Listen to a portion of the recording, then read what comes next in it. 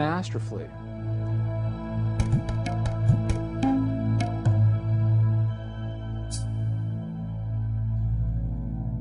The ancient Essenes uh, perhaps identified best the, uh, the role of, of our personal relationships and uh, categorized them. They went so far as to actually categorize seven mysteries of relationship that we would live, each individual through the course of, of their lives would live uh, simply by living life in the presence of one another. They have categorized these as mirrors. And what they remind us of is that in each moment of our life, the reality that we have become within is mirrored to us. It is a reflected reality. It is mirrored to us by the actions and the choices and the language of those around us.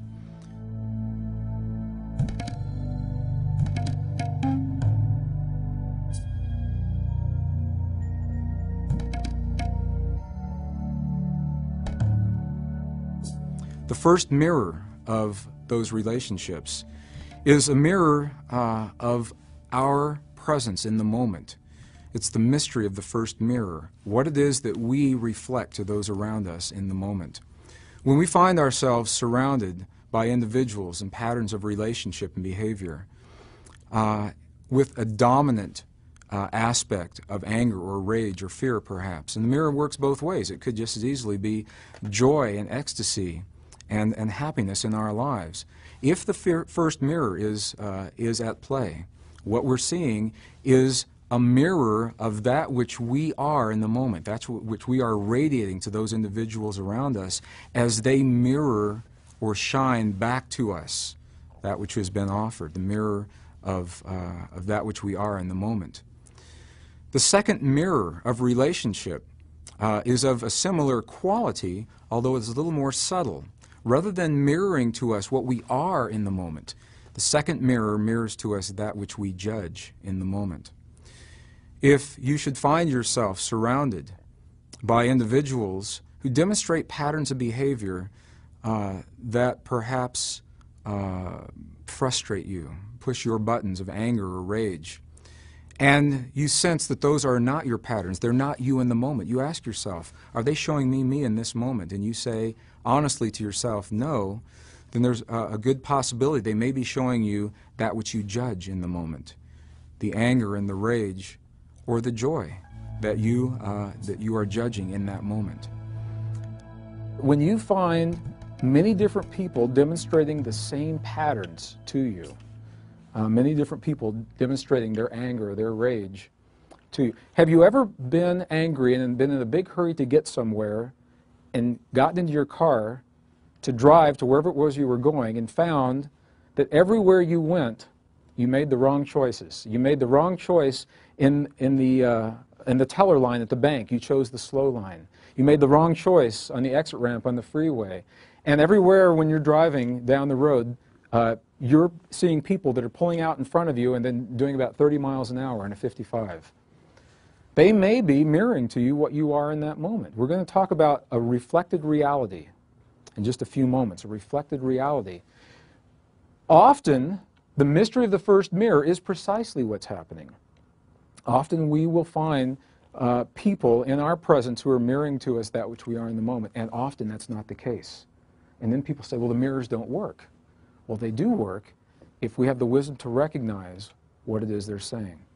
A few years ago, I had the opportunity, a rare opportunity, have three people come into my life in the same month. Now, that should have been my clue right there. When three brand new relationships, very different in nature, all occur within the same month, that's, that's the flag that says something's going to happen here. You better believe it. One of them was uh, a potentially a romantic relationship. One of them was potentially a business relationship. One was uh, a, mix between a business a relationship and a friendship. Each of them came into my life. Each of them came to me. And that's been the second clue. Each of them found me. Um, the romantic relationship, it was with someone who I, I had worked with. We had spent a lot of time together. We had a lot of common interests, and it was one of those things where it just kind of made sense to be together. It wasn't like Uh, there wasn't a powerful magnetic attraction. It was, it was more, uh, it just seemed like the thing to do. The business relationship was especially interesting for me. I was very busy doing seminars, uh, more than full time. It's like, like we are now.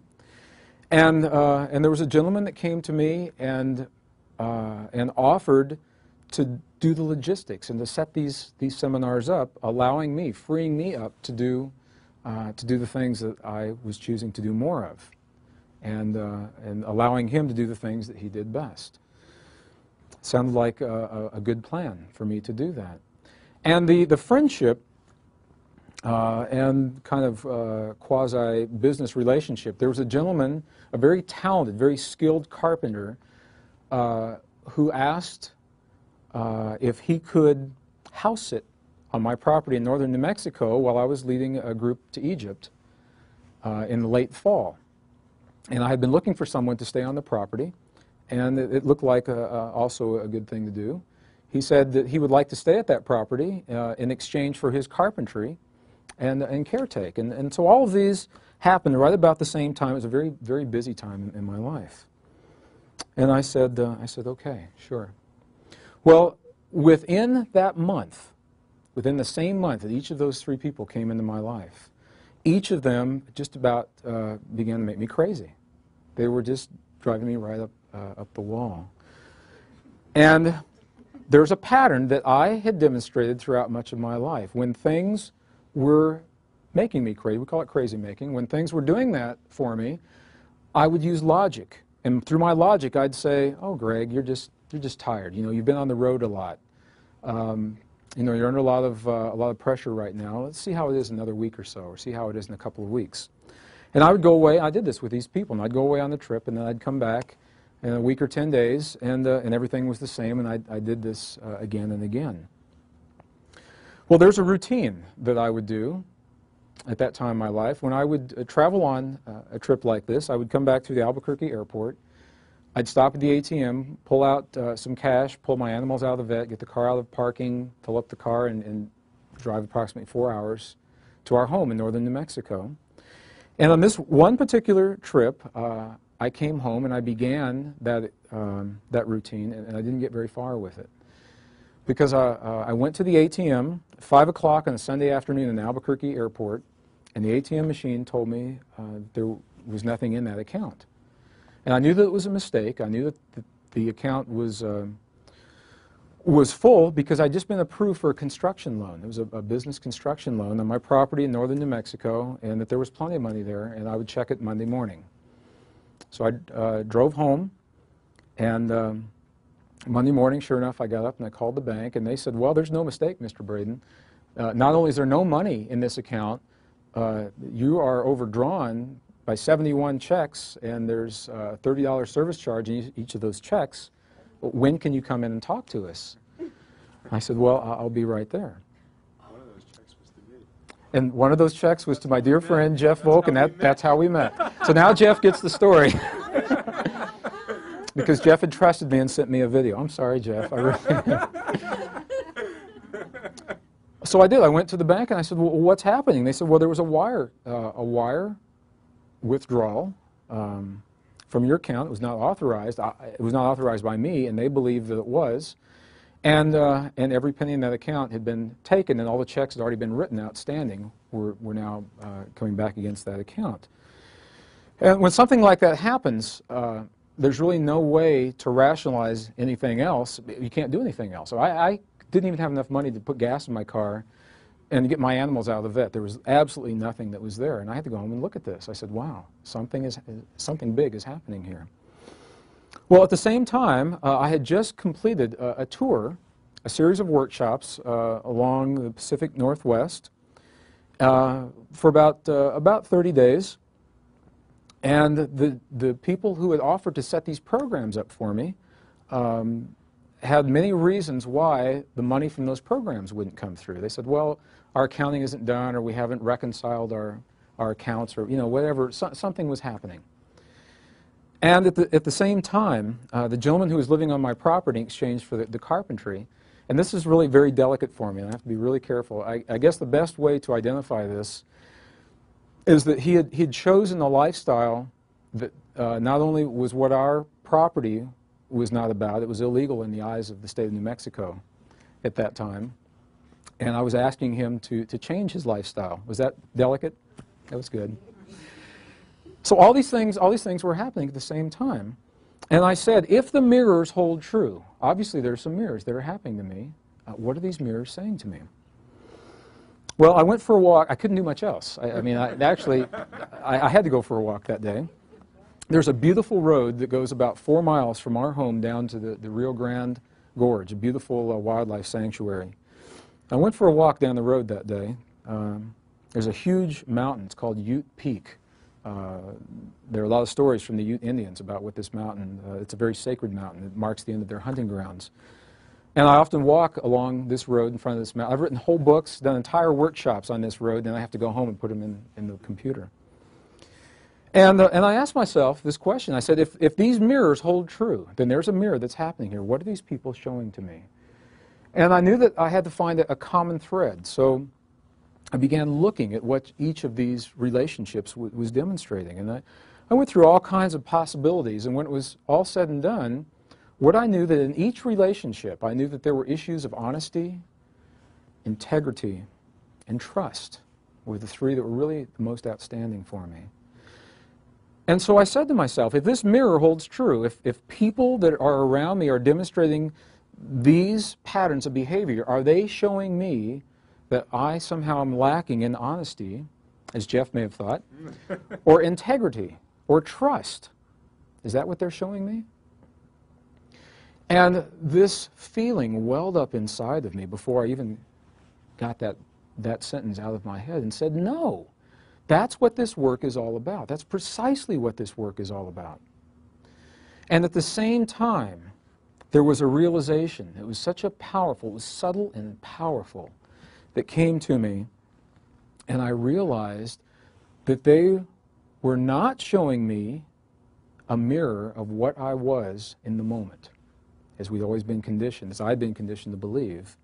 Rather, they were showing me a more subtle mirror, the mirror of what I judged in that moment. The mirror of what I judged in that moment. And that's precisely what was happening. I had a tremendous charge on honesty and integrity and trust. Such a charge that I was not willing to allow it in others. I was not willing to allow that in others. When you have a charge on something, what does that promise? Promises that you'll see it. You'll see it in your life if you've got a charge on it. I had that charge. These three people that came into my life, now I know that each of them was a powerful, skillful master that impeccably held the mirror to me during that time in my life of my greatest charges. And it was relatively concise the way they did that. It could have drawn out over years, and maybe it did. Maybe those mirrors have been shown to me year after year on such subtle levels that I never recognized them. And they became less subtle and less subtle and less subtle until something happened that I could not look away from. And in that moment, I had that mirror. In that moment, I was shown the second Essene mystery of relationship, the mirror of that which we judge in the moment. The gentleman that had invited me to work with him uh, wanted to set up these, these seminars. The very first moment we met, something interesting happened. We met in the home of a mutual friend in, uh, in Northern California. And the first moment we met, I'd never seen him before, I'd spoken with him on the phone. And our eyes met on the landing of, uh, of this house, and I said something to him that I, I seldom, or rarely, will ask anyone upon first meeting him, and I simply said, when's your birthday? And he said, well, my birthday is June 28, 1954. And I said, wow, that's my birthday. The exact month, the exact day, and the exact year.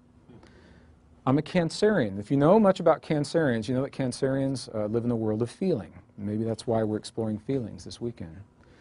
Uh, and I'm a double Cancerian, which means double feeling. And depending on how you run the charts, I've got five or six planets in the 12th house that are all in Cancer. So my world is a very feeling world. My path has been to reconcile that feeling world with the academics and the hard sciences through, uh, through the, uh, the corporate and the, uh, um, and the academic, academic world. And I, I looked at him and I said, Well, you must have had the same experiences then. Another Cancerian male. What a great person to, to share this business with. And he said something to me in that moment. He looked me directly in the eyes and he said something to me and I discounted it. I used my logic. And what he said to me was, Ha, huh, I'm your evil twin. And I dis- he told me in that moment, and I discounted it. Because my logic said, oh, well, he's just making a joke. Although I had a feeling in here. The moment the gentleman moved onto my property to caretake for me in exchange for him living there, I had a feeling about him being there, and I discounted that feeling through my logic. I said, oh, Gregg, you don't really even know that man. Well, that's precisely the point. You don't even know him. Why would you judge him? The moment that I began uh, spending serious time with the potentially romantic relationship in my life, I had a feeling. And my logic said, oh, that's the feeling that you had from the last time you got hurt. So let's give this one a chance. And the reason I'm sharing this with you now is because in each of these there was a feeling that told me right up front. And there was more than one lesson that happened here. And I've shared this with other people, and it's, it's uh, been a powerful trigger for them. It's a lesson I didn't care for at the time. The week that I recognized the pattern of judgment, the week that I recognized that each of these people was masterfully mirroring for me the things that I judged in life, every other relationship that was held in place by judgment began to disappear. There's a cascading effect. And I share this with you now because I know that it works this way. If you are experiencing a pattern in one place in your life, it'll show up in other places in your life. And once it is healed, once it's reconciled in one place, it is healed everywhere simultaneously because we are holographic in nature. Our consciousness works that way. It is mirrored on many, many different levels. Well, the. Um, the gentleman who had offered to do business with me, that relationship didn't work well at all. And I felt like I gave it ample opportunity. And, and the reality is it did work well, and I just didn't know what it was showing me. It worked perfectly as my mirror. So one day I called this gentleman and I said, uh, uh, I'm not going to work with you any longer. And I hung up the phone. There's more to it than that. I'm making the long story short. I hung up the phone, and as I did, I realized that every program and every uh, every source of income that I had for the next six months, I had just, I had just canceled. As my hand was on the phone, that was on a Saturday afternoon. So I had the rest of Saturday and all of Sunday to think about it. Sunday night, there was a message on my voice machine from a woman I had never met before, who through mutual friends had heard about these workshops, and uh, she asked me to call her, and I did. And she said, uh, I'm interested in sponsoring you and setting up programs for you around the country. Would you be interested in working with me? And the first thing I asked her, I said, Well, when's your birthday? She said, June 28, 1954. True story. And my first reaction was to hang up the phone, and I didn't do it. And I shared with her, I said, Let me tell you a story. and I shared with her this story. And she said, Well, would you be willing to give this a chance? This time, I paid attention to the way that I felt, and it felt different. Something was different. And I said, um, I said, yes, I, would like to do this with you. If you know her, now she's a seminar coordinator and does workshops in her own right, and now an author uh, of a couple of different books. Uh, her name is Joanne Carl Cornog, if you've ever done any work with Joanne Cornog. Uh, and because I did not allow the first relationship to taint the second, because I was able to trust the feeling and really know what the feeling was saying, we've had a very powerful uh, relationship, and it was through her that I met Melissa. So it's interesting how these things work out. Through that mirror, that second mirror of judgment, I was shown the things that I have the greatest charges on in my life. I was shown the mirror of that which I judge in the moment rather than that which I was in the moment. And I learned the powerful lesson of discernment, of trust. And it was a relatively inexpensive lesson compared to what came next, because immediately after that I began dealing with uh, publishers and contracts and things like that. And through my powers of discernment, uh, I averted what could have been some, some serious, uh, serious problems in that way. So I'll invite you, look in your life at the people that you hold most dear, because that's the magnet. That's the magnet. It may be love, it may be that they're family and you don't have any choice. The people that you hold most dear, and then look at the characteristics that they exhibit that just push your buttons right and left.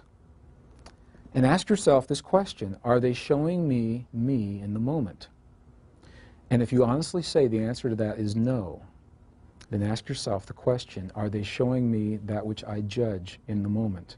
And you may be surprised at what you find.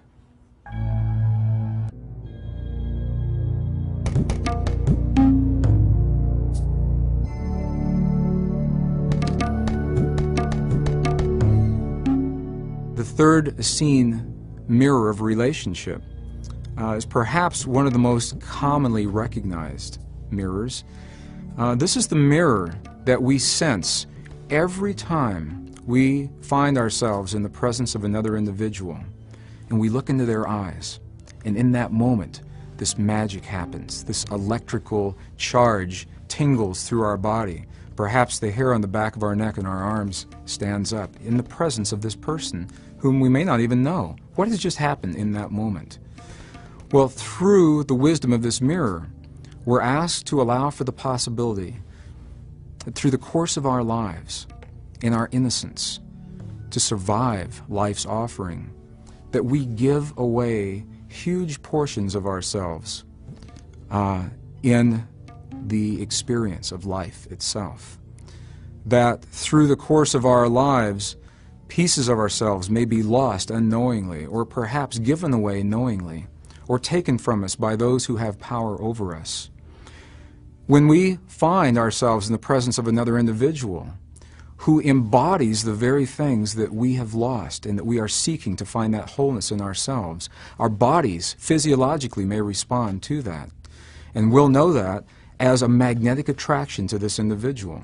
Should you find yourself in the presence of another and for some unexplainable reason drawn to share time with this individual, ask yourself this question What is it that I see in this person that I've lost, that I've given away, or that was taken from me?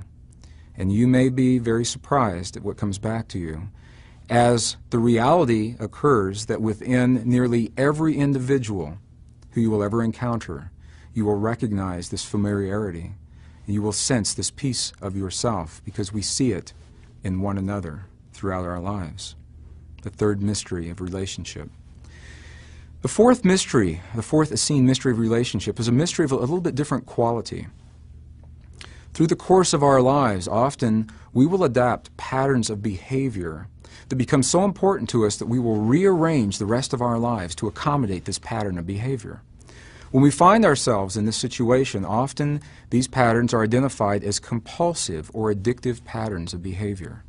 And the fourth mystery of relationship is the mystery that allows us to see ourselves in the presence of addiction or compulsion.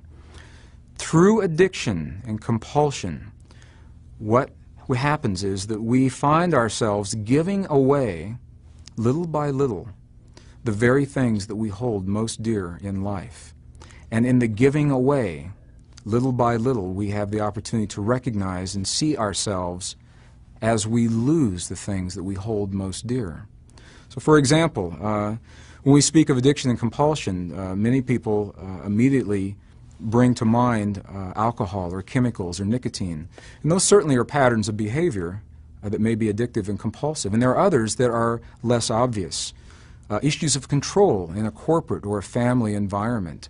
the addictions to sex, always having to have sex, or always having to have money or create money um, or, or abundance in, in our lives. Those are issues of, uh, of compulsion and addiction as well. When an individual finds themselves in the presence of this pattern of behavior, what they may be assured of, and the beauty of this pattern, is that the pattern does not occur overnight.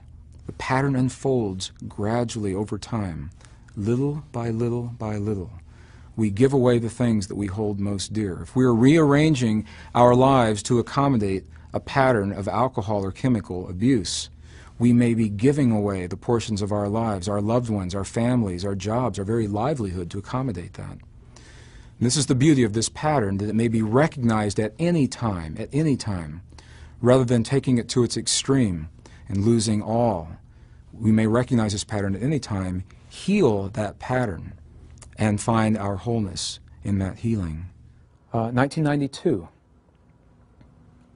I was doing a series of workshops very similar to this uh, in Mount Shasta, actually a little town just outside of Mount Shasta called McCloud. If anyone knows where McCloud is, uh, at a wonderful place called the Stoney Brook Inn. It was a bed and breakfast, and at that time it was also a, a retreat center. We had rented out the entire facility. Uh, we had the whole place all to ourselves, including a great room downstairs. And in that great room, there was a large screen television, and we were watching our video clips at night. Well, 1992, a gentleman named Richard Hoagland had just come out with a pretty amazing piece of video of a presentation he'd given to a special session at the UN about what he believed we had found archaeologically on Mars with our Viking probes in 1976. And we were watching this as a group. And it was dark. It was in the evening. Uh, and the door opened up, and there were two travelers that came in looking for a room. Of course, the, the inn was full because we had all the rooms, and they happened to see what we were watching, and they said, this looks really interesting. Can we stay? And I said, uh, I said, sure, and they did. And when it was all over and the lights came on, uh, I looked across the room, and uh, there were two women who were traveling cross country, and for some reason, one of them looked very familiar to me. I had never met her before. And, uh, and I just felt that sense of familiarity. Have you ever had that happen? Have you, have you ever been in a public place, uh, maybe the airport coming in here, or a bus station, or train station, or a mall? Grocery stores are great because no one's expecting it, and no one's expecting it. And all of a sudden, uh, you're not looking for a relationship, you're not seeking uh, anything consciously, and all of a sudden, someone, someone may come by you and you feel them walk past you, and you think, wow, what was that? Or, or perhaps your eyes will meet. And just for, uh, just for a fraction of a second, while your eyes meet, this thing happens. This magical little thing, this electrical glimmer of recognition. And then more often than not, in our culture, that's, that's not, uh, uh, not approved. We're not supposed to do things like that. So more often than not, what will happen is we'll find a distraction. You know, if you're walking down the street, we'll, we'll do something like this. You know, we'll do one, one of these things. Or uh, look at a piece of gum on the sidewalk, or, or anything to break, to break that moment. What just happened in that moment? When you look at someone and you feel that feeling, that sense of familiarity, what just happened? I worked, uh, I worked with a group of engineers at one point in my life and one of them was a gentleman that had this happen many times each day. Many times. And typically it happened with women. And what would happen was he would, he would leave our office for a period of time. He might go out for lunch. Uh, Friday afternoon, we'd, we'd all get a paycheck. We'd go to the bank, cash our paycheck, get a bite to eat, run some errands, and, uh, and we'd come back. And he'd sit at his desk. And I'd say, What's wrong? And he'd say, I can't work. And I'd say, Why not? And he says, Well, I fell in love over lunch.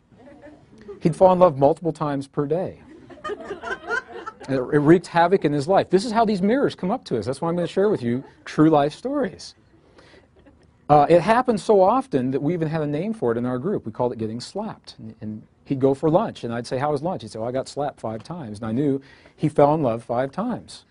So we'd get back to work, and, and he'd sit there, and then he might do something like he'd call the bank where we cashed our checks and say, who was the teller, the third one from the left, over the lunch hour? He'd get her number, and then he'd call her. And uh, he'd say, would you like to meet for coffee after work? And she'd say, sure, sometimes. And, uh, and so they go meet for coffee. And while he was having coffee with this woman, he'd look at the waitress that brought them the coffee. and he'd feel that he was in love with the waitress. And it happened again and again. It was particularly a problem for this gentleman because he had a wife, two wonderful children. And he loved them very much. It wreaked havoc in his life. Now, this is an extreme. Hopefully it's an extreme. Hopefully it's not like this in your lives. Now, I use it as an example because it, it's, it's such a vivid example. What is happening in that moment when we feel that feeling? What's going on? Well, this is what happened to me in Mount Shasta. Uh, that's happened to me every, every once in a while in my life. This has happened to me very few times. And the, the, lights came on. I looked across the room. There were two women there. One of them, I looked at her in the eyes, and I had that feeling. That magical thing happened. And uh, everyone said their goodnights and went to bed. And she and I uh, were talking, and I said, Would you like to go for a walk outside? And she said, Sure. I don't know if you've ever been to the town of McCloud or not. A, a walk around McCloud takes about a, a minute and a half, maybe. And we did. We did the circuit down past, uh, there's an old lumber mill, and there's a, um, a museum, and a, a post office, and an ice cream shop, and then we were back. And I said, I enjoyed that. And she said, I did too. And I, I said, Would you like to do it again? And she said, Sure. So we did this several more times that evening. And, uh, and it got late, and eventually um, we said goodnight. I never got her name. We said goodnight, and, uh, and that was that, I believed. Well, it was on this same journey that a very powerful friend came into my life. I'll begin this story now, and it will have its completion before we have completed our science of compassion. Uh, it was underneath the front steps of the Stoney Brook Inn that a mama kitty had given birth to uh, a litter. She'd never done this before. She didn't apparently didn't know or wasn't capable of nursing, and all the litter died. They believed. And it was while we were there at this workshop, the mama came out carrying this little bag of fur and bones, and he was still alive somehow, and he hadn't hadn't eaten since he'd been born. And they said, "Well, this is magic. Uh, that this this animal has such a will to live. We'll name him Merlin." And they did. And, and uh, Mr. Merlin was a, a beautiful, uh, all black little male kitty. Uh, was supposed to be an outside cat. They, there were no animals allowed inside the Stoney Brook Inn. Well, the night that I got there, he found my room. Somehow he got in, found my room. He meowed. I opened the door and let him in. He never left. And he was, he was with me the entire week that I was there. And uh, he was being nursed back to health. We slept together. We dined in my room together. He'd stand on the edge of the sink while I shaved and watch me. He'd stand on the edge of the tub while I was showering, and he'd, he'd, catch little water drops in his, in his whiskers that were bouncing off my body, and we became very good friends in that short week. As my workshop was coming to a completion, uh, it was time for me to, to come back to New Mexico. And they said, we have our quota of animals. Would you like to take Merlin with you? And, um, and I did. I said, sure. Well, that morning I was leaving, and I had to go into Mount Shasta to get the things that you need to take an animal with you when you travel cross country. Uh, I got a leash. He was a leash trained kitty, and little kitty water bowls and litter boxes, and all the things that you need. Well, I was driving down the street, and I stopped at a light, and I looked up, and there on the corner was the woman that I'd seen the night before. See, the story is going somewhere, and it does tie together. It works out really well. And she was there, and she looked at me, and I looked at her, and she came over the window, and I said, Hi, how are you doing? She said, Fine. And the light turned green, and people were honking their horns. And I said, uh, Have you eaten yet? And she said, No. And I said, Would you like to? She said, Yes. She got in. We shopped for Merlin's things, and we went to a, a wonderful little cafe at the south end of town, and we sat and talked, and talked, and talked. And we were there for the rest of the morning, and the breakfast people left, and it got really quiet. And then the lunch people came in, and it got very busy, and then they left, and it got really quiet. She was driving back to the East Coast, and I was driving back to New Mexico. And uh, finally, we said, well, if we're going to leave today, we, we probably should leave. And uh, she walked me in my car, and I gave her a kiss on the cheek goodbye. I, I still, to this day, I don't know what her name is. Um, and as I watched her walk away, this thing happened. And I found this tremendous sadness in my body. I, I, actually began to miss her. And I watched her get in the car, and her taillights disappeared over the road to the highway. Ten years ago, if that had happened, I would have said that I was in love. And I would have done something really romantic, like jumped in my car and flagged her down on the freeway and, and said something to her. Know what it would have been. And I knew that something else was happening. I knew that's not what it was. And I sat in my car, and all of a sudden, huge tears began coming down my cheeks. And I said, wow, this must be a really powerful lesson that's happening here. First, there was the familiarity. And there, there was the sense, as she was leaving, there was a sense of sadness. And I simply closed my eyes uh, and asked a question, as I often do. And I said, Father, I ask for the wisdom to understand what is it that I feel in my body. When you ask a question like that, uh, whoever you believe you're asking that question to, you're expecting an answer. And, rather than answer, uh, I got a question back. So they were making me work. And the question simply said, What is it about this woman that you miss? And I hadn't really thought about what it was. I just knew that I missed her. And I began thinking about all the things that we had shared and all the conversation that we'd had the night before and, and all at the cafe, all through the, uh, the lunch hour. And of the many things that had happened, what I knew was that I really missed her innocence. There was uh, an innocence about her, a sense of awe and wonder. And this was big for me at this time in my life because I had gone through the academic world, the sacred journey of academia. Uh, I'd spent quite a bit of time in the corporate world, and, and there's a trade off, and I know that you know this, that as, as we remember and as we develop the knowledge in our lives, we lose that innocence. And I'd become aware of that. Uh, as an example, uh, I went to school not far from here, up in uh, Fort Collins, Colorado, just north of here. And if you've ever driven west on Interstate 70 out of Denver, you've seen one of the most awesome uh, spectacles that nature has to offer in the form of a road cut. And there's a road cut there where I-70 goes right through uh, the side of a mountain. And all of the layers were tilted by geologic forces about this angle. And they are the most magnificent colors you've ever seen. It goes from the deepest black to a gray and an olive, and then a, a violet and a pink, and then an orange and a white, and then the whole thing starts all over again. Before I was a geologist, I used to look at that and I'd say, look at those colors. How beautiful.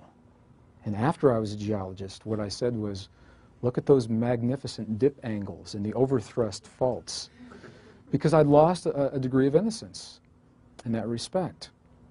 And what I knew in that moment, as I recognized what it was that I was missing about this woman, I knew that I was not in love with her, that she had very, very powerfully, in a brief period of time, in just a matter of hours, had held a mirror to me of a huge portion of myself that I had lost in exchange to attain that which I chose to attain in my life.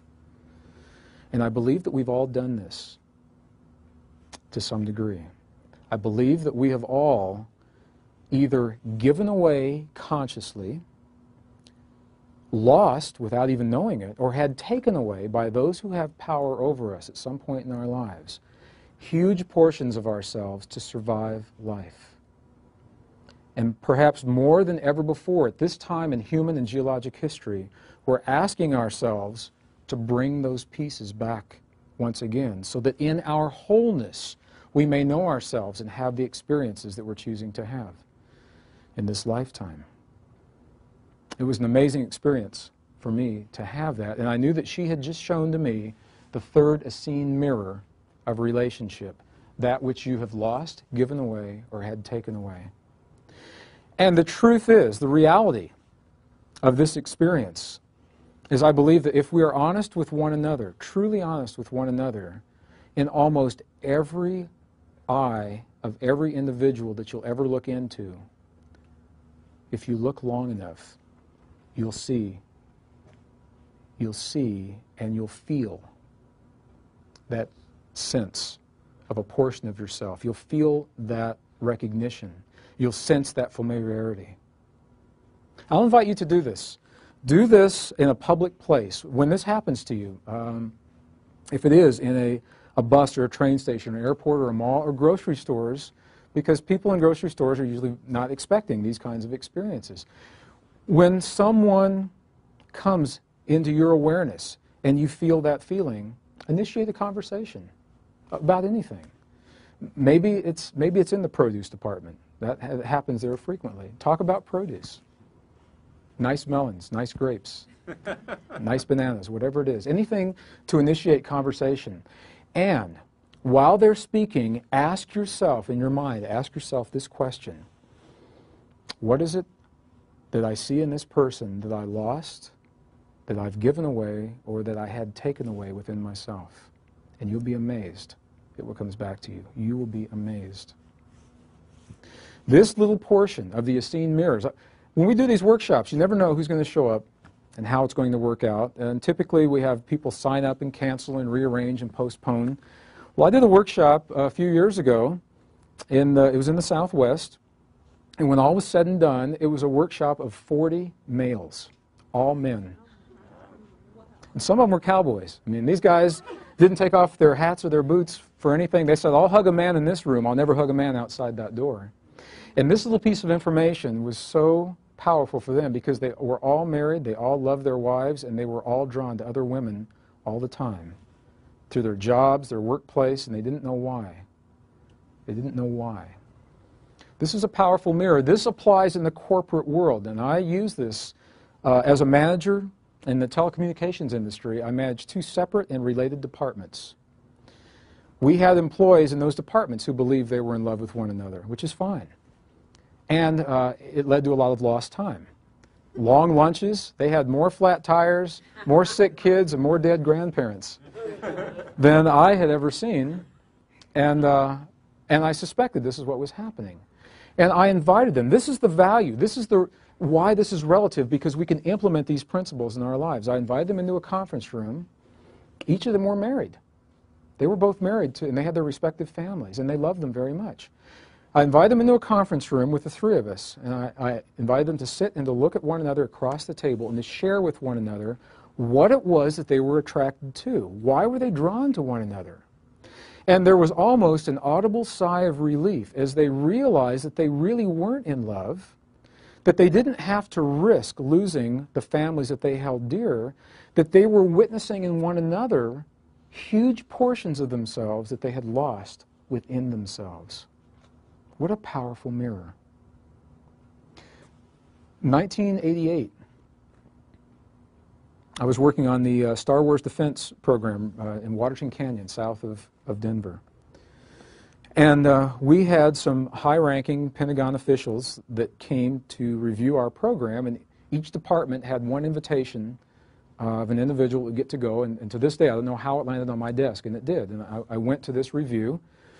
And afterwards, I had the opportunity to spend time with some of these officials. And there was a conversation that was happening at, uh, um, at uh, it was a dinner, just before a dinner that evening. And one of the people in the group looked at, at this one particular gentleman. He had risen through the ranks of uh, corporate America and was now seated on the uh, Joint Chiefs of Staff. And they said to him, How did you do this with your life? What is it that, you, that had to happen in your life to allow you a position of this, uh, this magnitude of, power and control? And he was very conscious when he said this. He looked at everyone in the, in the circle as, as we were there. And he said, To get where I am today, each time I climbed a rung on the corporate ladder, I gave a piece of myself away. And then I'd climb another rung, and I'd give another piece away. And he said, pretty soon I'd given away everything that I've ever held dear to me, everything I've ever loved. I've given away my friends. He said, I, essentially have no friends. I've given away my family. My wife and I are divorced. My children and I don't, don't even speak any longer. And he said it was worth it to me because in my life, in my life, my goal was to have this power and this control. It was worth it. So he was conscious of it, and I was amazed that he was that candid, that, that he shared that. And, uh, and I know that we, that we do this, that we compromise pieces of ourselves to survive whatever it is that life offers to us. So when you find yourself powerfully, magnetically drawn to another person, maybe it doesn't make sense why that would be. Maybe it's a person of the same sex, and you try to put a label on that. And I've worked with a lot of clients in the last few years who've had those experiences. Or maybe you say, I'm a woman, and I just like to be around men. What does that mean? Or I'm a man, I just, I just like to be around women. Think about, think about this experience. Think how odd this experience is that we're having right now. We are essentially genderless souls. We're not male or female until we come into bodies. And then we come to this world of polarity, and we must choose one or the other. And when you choose one or the other, you compromise that which you did not choose. So, as a male, I came to this world, I chose to polarize into a male body, although my, my soul is genderless. It is both masculine and feminine simultaneously. So, I put my feminine on the back burner. And women, you've put your masculine on the back burner. So, when we arrive in this world, we may find ourselves unexplainably drawn to someone of the other polarity. Well, I did a workshop in the, in the Bay Area a few, uh, a few months ago, and people said, what about when we're drawn to the same polarity? What does that mean? And I believe that the mirror holds. And this is a powerful mirror with no labels. It's simply a mirror. Let me give you an example of how this may work.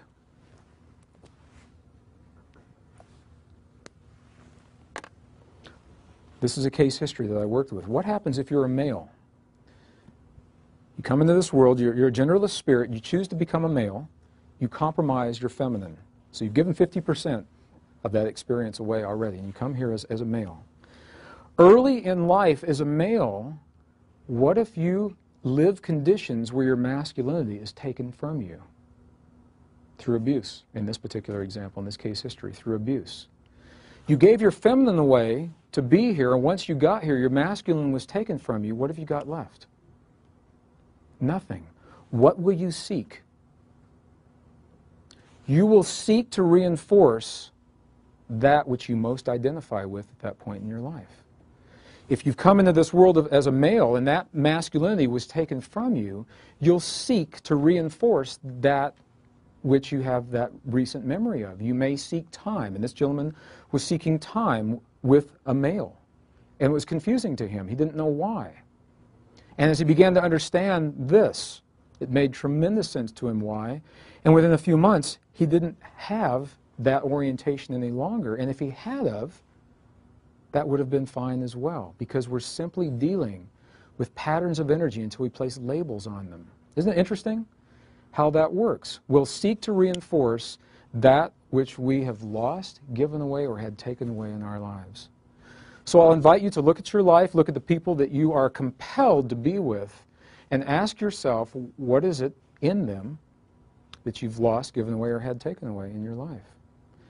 And then romance in our culture today, romantic relationships. How many times have you heard of couples that come together because they feel this charge and the charge goes away? and they say, Well, I'm not in love anymore. And the reality may very well be that their love has served them so well, that which they sought in another, they have now healed in themselves, and they will not feel that charge.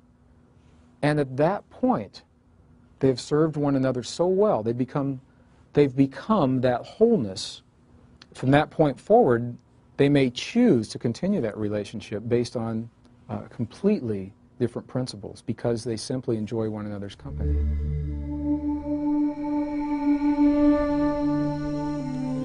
The fifth pattern of, uh, of relationship, the fifth Essene mirror of relationship, for me perhaps is, is the single most powerful pattern. It, I believe, uh, allows us to see more and to a greater level why we've lived the kinds of lives that we've lived perhaps than any other. It is the mirror that our parents show to us through the course of our lives and the time that we spend with them.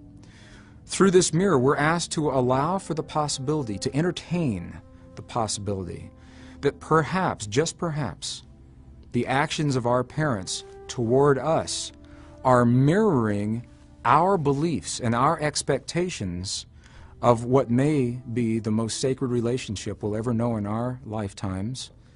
And that is a relationship between us and our heavenly mother and father, or the male, uh, masculine, female, feminine aspect of our Creator, however that's viewed.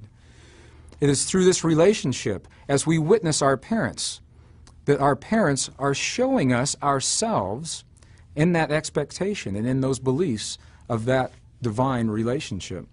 So, for example, if we find ourselves in a relationship with parents where we feel we're judged, constantly, or that we feel that our best is never good enough, there is a high probability that in that relationship, the truth of what's being mirrored is our belief within ourselves that we may not be good enough, or that we may not have accomplished that which has been expected of us through our perceptions of ourselves and our Creator.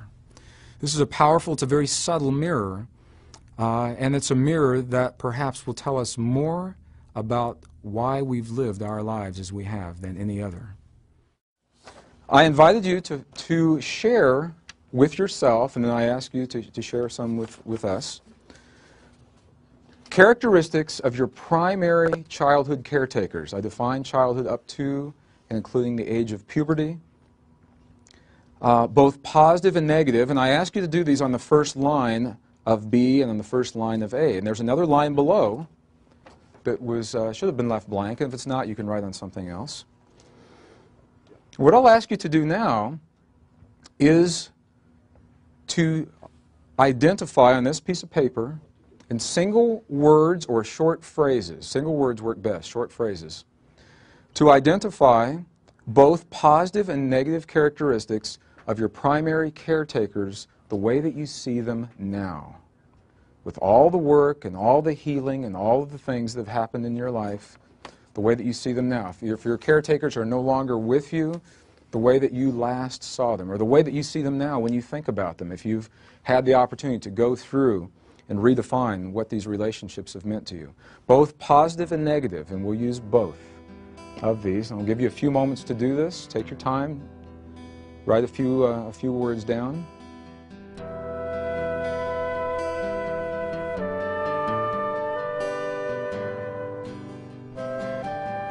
Take a look at, at what we've got. Um, to the degree that you're comfortable in, in sharing a few of these, what were some of the positive characteristics of either or both male and female caretakers uh, as you see them now? What are some of those characteristics? Vulnerable. Vulnerable? Okay. More loving? Dedicated.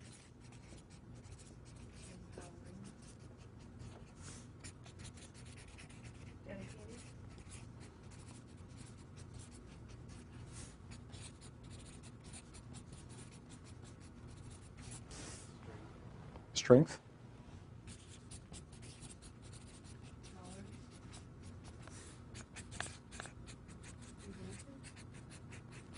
Inventive? Hmm. That like creative?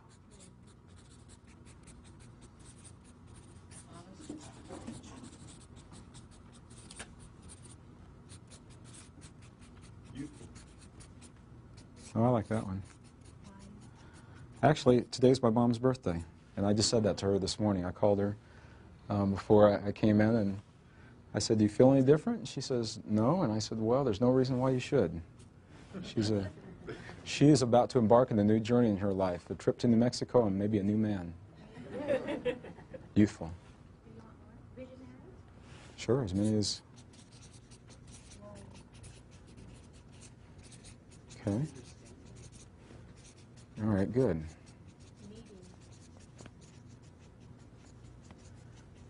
What was the last one? Needing. Needing. How, how is that? You see that as a positive? I see that as positive because before they were kind of closed, not thinking that they needed the love and the attention from their children. So maybe maybe more open. Yeah. Openness. I'll put it right down here. Okay. Hardworking. What are some of the negatives, if there are any? What are some of the negatives? Judgmental. Judgmental.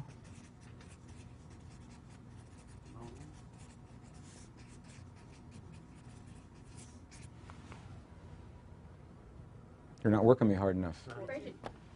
What was it? Pardon me? Rigid. Rigid. Ah. So that didn't change from yesterday, did it? That was the way you saw them as a child, and that's the way you see them as, as an adult. Funny how sometimes it was just like an adjective, like more or less Mhm. in front of conditions that were Yeah. still, you know, or It, it is. It's real interesting. There's, uh, there are many things that we can do with this. We're going to, to focus in on one specific aspect. This, there's tremendous amount of information in here. Prejudice.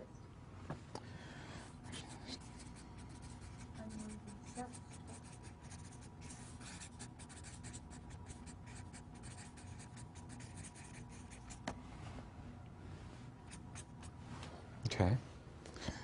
Misunderstood. Misunderstood?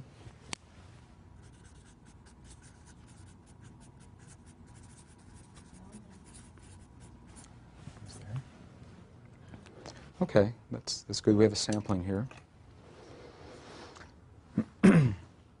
the mirror that I'm about to share with you, for me, um, has, uh, has had a, a tremendously powerful impact on my life. And, uh, and the impact has had many implications. So I'm going to share this with you with a sentence, and then we're going to take that sentence and look at it from many, many different perspectives. We'll be discussing this mirror for a little while uh, because the sentence is a mouthful.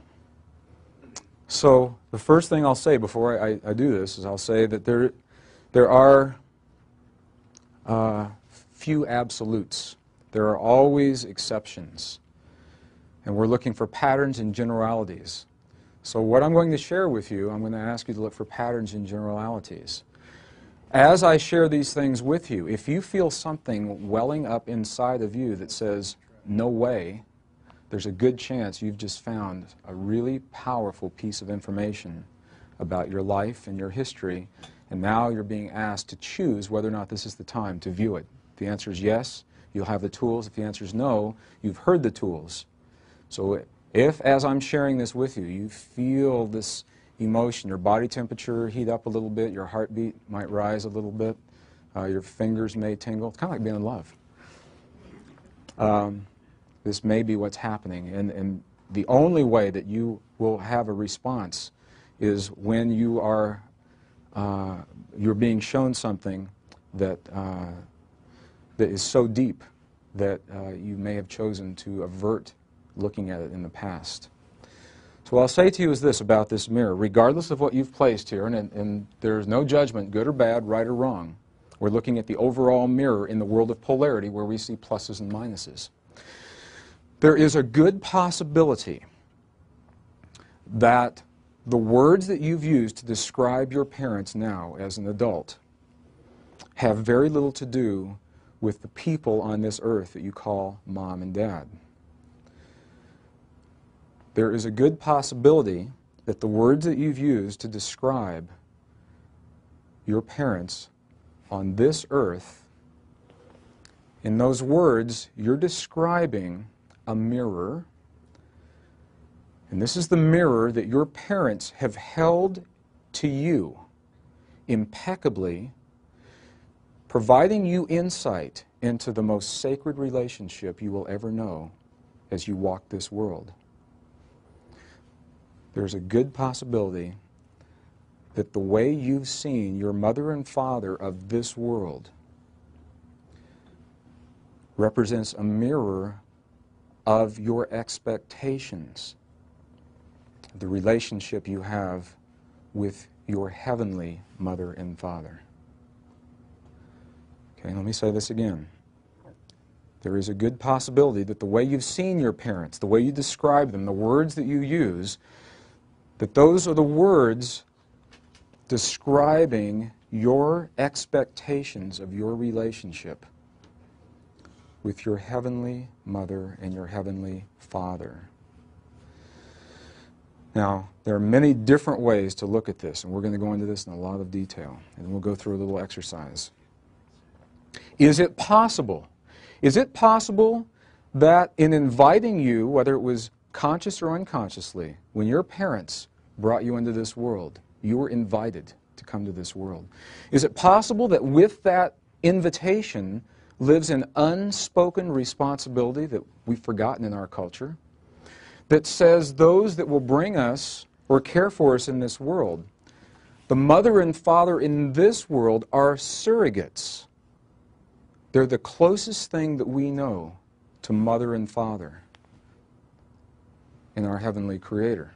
We know that our creator in, in, um, in reality is genderless. They're, they're there is no mother father. There's a, a force, if, if you will. And we're using our English language to approximate, to approximate this. Is it possible that your mother and father have loved you so much, perhaps on levels they were or still are not even aware of, that they have impeccably held to you a mirror showing you the way you see your relationship, not with your earthly father, with your heavenly father, not with your earthly mother, with your heavenly mother?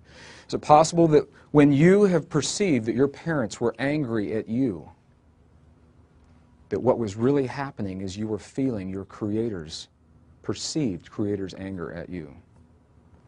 Is it possible that when your parents are proud of you, and when they encourage you, that, and it, it feels so good that you're actually feeling that from your Creator. Is that possible? If the mirrors work and if they hold, I believe this is precisely, precisely what's happening. I believe there's a good possibility that we love on levels unspoken and so deeply that we will impeccably hold these mirrors to one another. And our parents have done precisely this for us.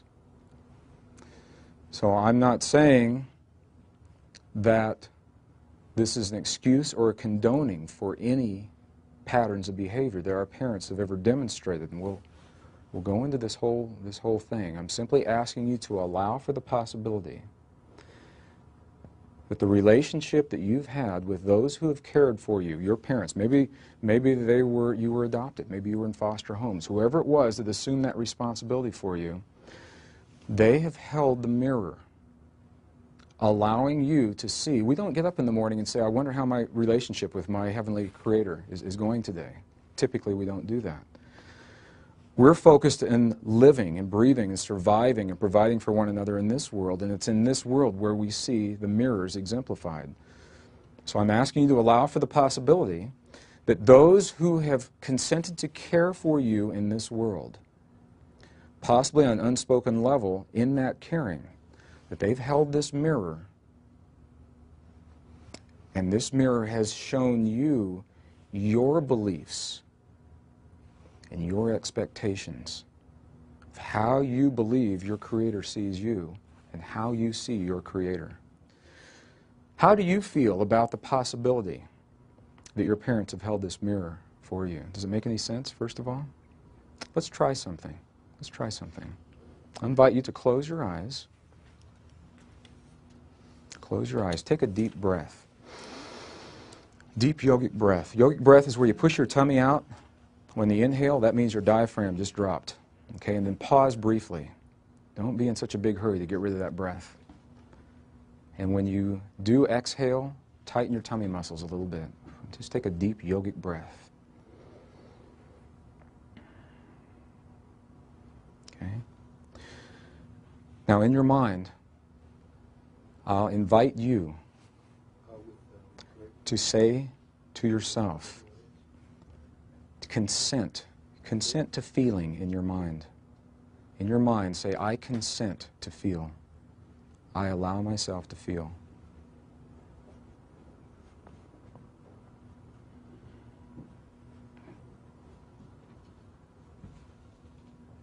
In your mind, I invite you to say to yourself, to consent to remembering. Say, I, I remember, I consent to my remembering.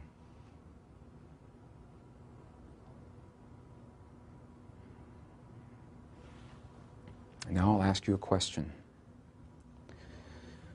If someone came to you on this day and said to you that you had one minute left in this world, and after that minute, that you would no longer be present in this world or communicate with those that you love and hold most dear. And in that one minute, you could say anything that you would choose to say. To your earthly mother and father, what would you choose to say to them in that minute? What would you choose?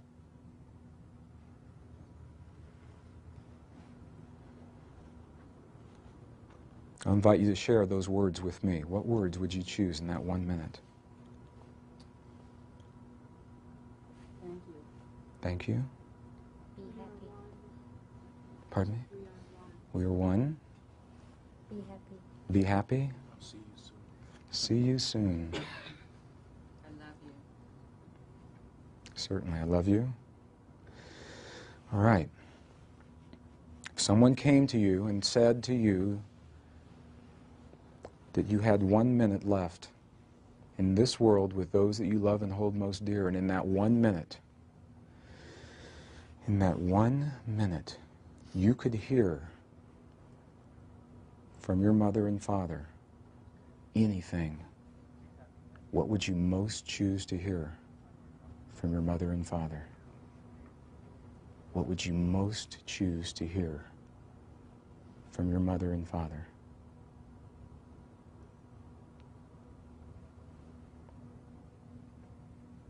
I invite you to share those with me. What would you most choose to hear? I love you just the way you are. I'm sorry. Sorry?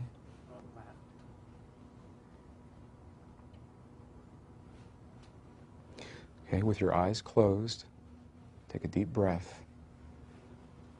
And I invite you to listen. If in that one minute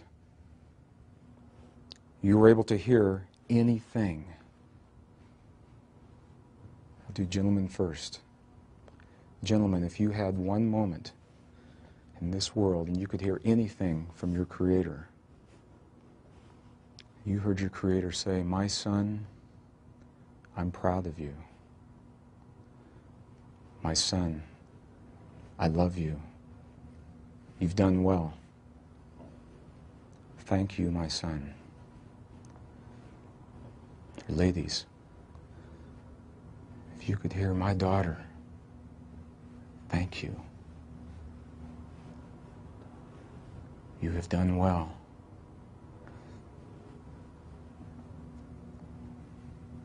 My daughter, come home. How do you feel when you hear those words? Can you feel that feeling in your body? Why? They're just words. Is it possible that we have spent much of our lives believing that we were seeking the love and the respect and approval from our earthly parents because they're the closest thing that we know to our mother and father in heaven. And the reality is that we have always felt at a deep, deep level it's our mother and father, creator, that we're seeking to hear the approvals from. Is that possible? If that's so, then that has just told you a tremendous amount of information about why you've lived your life the way you've lived it and how you've lived your life. And how you've lived your life. I did a workshop in Mount Shasta a few months ago, and we did this, pro- this program, and we came to this part of the process. And there were about 230 people in the room, and there was a gentleman who raised his hand and he said, This is ridiculous. This does not work for me at all. So right there I knew something was going to happen. And I invited him and I, I said, Are you comfortable sharing this with 229 other people in the room? And he said, Sure. He said, This mirror doesn't work for me at all. Just no way. And I said, Tell me about your father. And he says, I don't know anything about my father. I never knew my father. He left uh, before I was born. I don't know who my father is. And I said, Tell me how you view your heavenly father. And he says, There is no God. I don't believe in God. And I said, The mirror stands. Mirror stands. By having no father in your life, the man that deserted you mirrored, even at that young age, your belief and your expectation that there is no Father in heaven, and now your life path has been spent seeking to prove or disprove that. You've now have had to come to terms within yourself as to whether or not there is a Father in heaven. And by your Father leaving you early in life, He pushed you to the edge of who you believed you were and asked you to redefine that. And he said, Oh my God. It's the first time he had seen it that way. My mother and I have had this discussion a lot. Her father lived to be between 94 and 96. We're not certain because he lied about his age during the Depression and then he forgot later in life. so we're not sure precisely how old he was. He just passed away in January. Um, my mother was divorced in, uh, in 66 and she spent pretty much each day of her life making uh, a couple of trips to see her father uh, when he was living at home, in his home. At the age of 80, he developed a condition as a male that typically affects women in their 30s. It's called myasthenia gravis. It's a condition where his body produced a chemical that would intercept the signals between his brain and his muscle. So he'd think the thought, and his muscle would never get the thought. And he, uh, he required round-the-clock care and many different kinds of medications for that. And the doctors said to us at that time, we doubt that for my mother. She, he said, We doubt your father will live much longer. Well, uh, he lived until he was 94, if that condition, and they never understood why. They never really understood what kept him going all that time. Well, my grandfather just passed away in January, and uh, Mom and I had this conversation. She said, Why was my daddy here so long? It hurt him to be here. He wasn't happy in life. And I said, Are you willing to look at this mirror? I'll use this as an example. She was an only child. And all through her life, my mom has said things to me like, How can God let this happen? Or why would God allow this kind of thing? And she's questioned and pondered uh, the existence of a, of a creator. If the mirror holds, I believe what was being shown in that relationship was that her father, on an unspoken, perhaps an unconscious level, said to her, My daughter, I will always be there for you. I will always be there for you. And he stayed until his body would not support that any longer, proving to my mother her father, earthly father or father in heaven, was always there for her. And she, and she now knows that. She got that. And that's where the healing begins. We have the opportunity. We have the opportunity through our earthly relationships, you may heal that relationship with your earthly surrogates, and in doing so, you have healed that relationship with their heavenly counterparts. And it works the other way around. As you heal that relationship with the heavenly counterparts, it has to have healed with your earthly surrogates. So it's not saying that you're responsible for the illnesses of your parents or that you're responsible for any choices they've made in their lives. They simply agreed on some level to hold a mirror to you, reflecting your expectations, and they chose how to carry that mirror around. As they are released from the burden of that mirror, now the question becomes, do they remember their truest nature? Is there a part of their consciousness? Does their body go, ah, At last, this kid finally got it, and now I can live my life. Is there a part of them that does that? Or do they become so entrenched in their belief systems that they believe they are those illnesses? And that's where we all work together to, to heal and to remember those possibilities. Does that make any sense? This is a subtle mirror. Remember I said yesterday and earlier in the session, they become more subtle as we go through, and that we must come to terms with the least subtle ones before we'll ever see the ones of greater subtlety. Because it is a mirror, the beauty is it works both ways, and this is important. We're not always looking at negatives. When we see our parents as loving and wise and, and showing their vulnerability and strong and honest and tolerant, that's our parents mirroring back to us our beliefs of our relationship with our Creator. We're seeing our Creator, ourselves in the presence of that creative force in, in this way. So I'm offering this as a possibility. It's subtle, it's powerful, it has rippling implications throughout your life.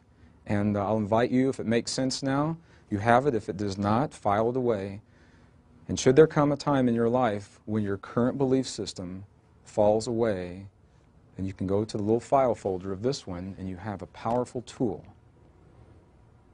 Okay? It's the mirror of Mother, Father, Creator.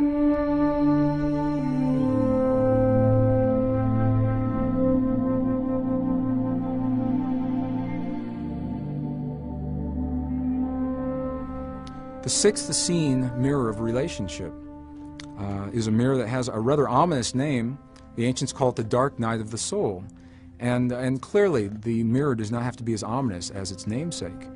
Through the dark night of the soul, uh, we are reminded that life has a propensity toward balance. Nature has a propensity toward balance. And that it takes uh, an extremely skillful, masterful being to upset the balance in nature and to upset the balance in our lives.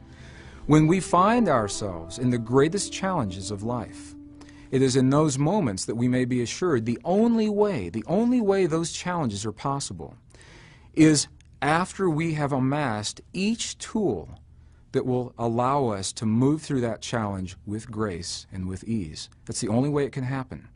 Until those tools are amassed, we will never see ourselves in the situations that ask us to demonstrate these high levels of mastery.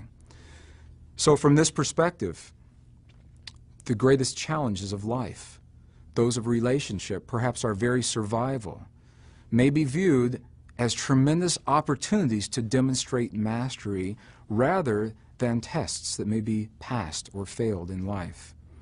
And it's through this mirror of the dark night of the soul that we see ourselves naked, perhaps for the first time, without the emotion and the feeling and the thought of all of the constructs that we've created around us that we believe keep us safe in life.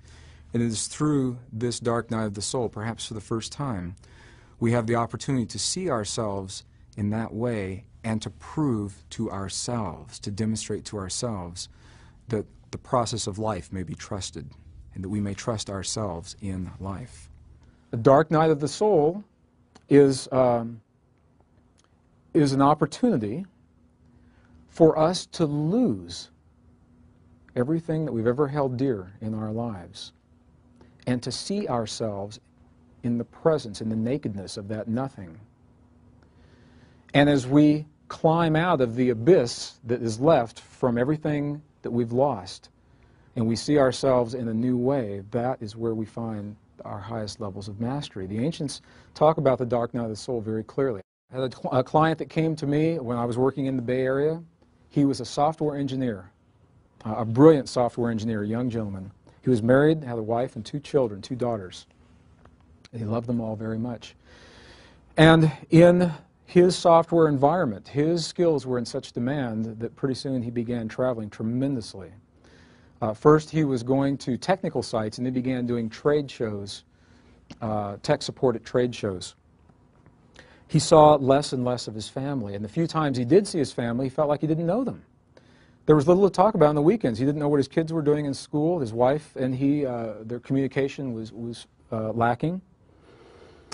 Um, into his department, the company moved another engineer. It was a woman from Los Angeles, same age. They began sending them as a team to these different programs, and it wasn't, you see where this is going, it wasn't long before he believed that he was in love with this woman. And she believed that she was in love with him. Uh, she applied for a transfer back to her home office in Los Angeles. He did the same thing from San Francisco and was given a job in LA. His, uh, his department was very upset with him. His friends thought he was just out of his mind. Uh, his family was devastated. And he said, Well, you know, I'm sorry that I've hurt these people, and that's okay. I'm, I'm off to my new life. So he went to, to Los Angeles, and they were down there about three weeks. And the woman came home one day and said, You know, this is the relationship I thought it was going to be. I'd like to end it. He was devastated. What universal fear did, did he just get lit up? He was devastated when she, when she asked him to leave. He began performing poorly at work, and he was put on probation, and he, he didn't, didn't get any better. The company asked him to leave.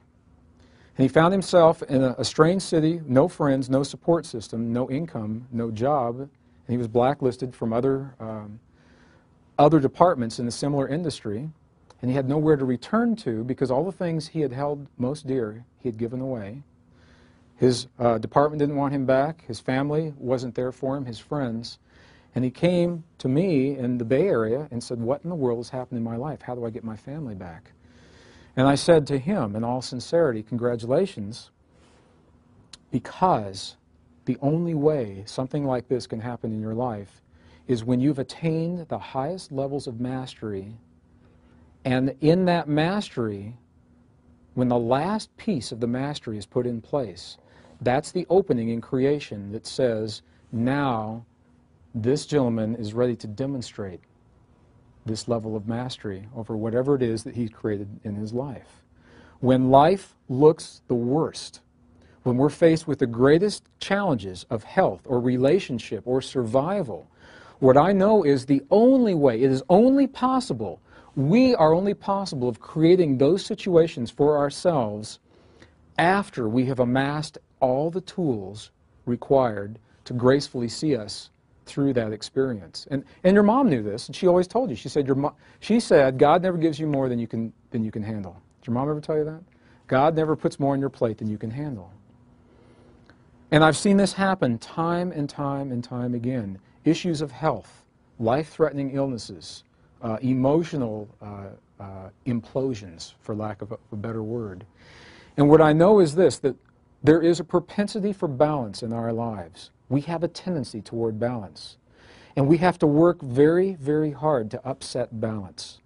And as masters, we all know ways to do that.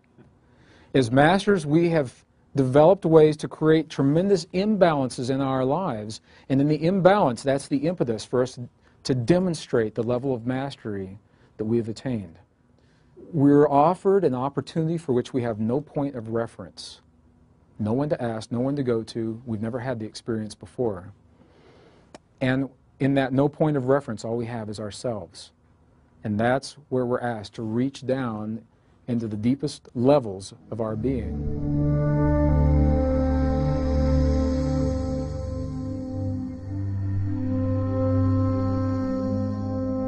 From the ancient perspectives, then we're allowed, uh, are asked to allow for the possibility that the forces at play in our polarized world are forces that have chosen to come to this world to anchor the polarized realities.